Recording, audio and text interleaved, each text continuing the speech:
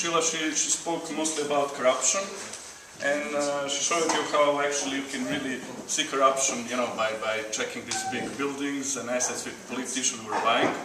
Uh, now we will also we will talk next hour about uh, assets, but in different way.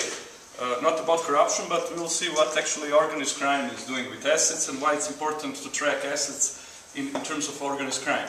And you will see that it's not all about uh, fancy villa, villas and, and, and built buildings.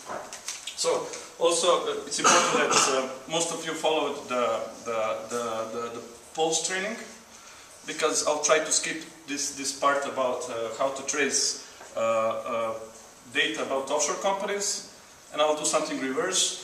I'll show you how you can actually find the data about offshore companies and this hidden partnership inside of your country, no matter which country it is. what improve? discrepancy between their income and Expenses. And the way of living, no? yeah. The way of living. Okay, well, let's start with that. Why, so, why is it important to know about someone's way of living?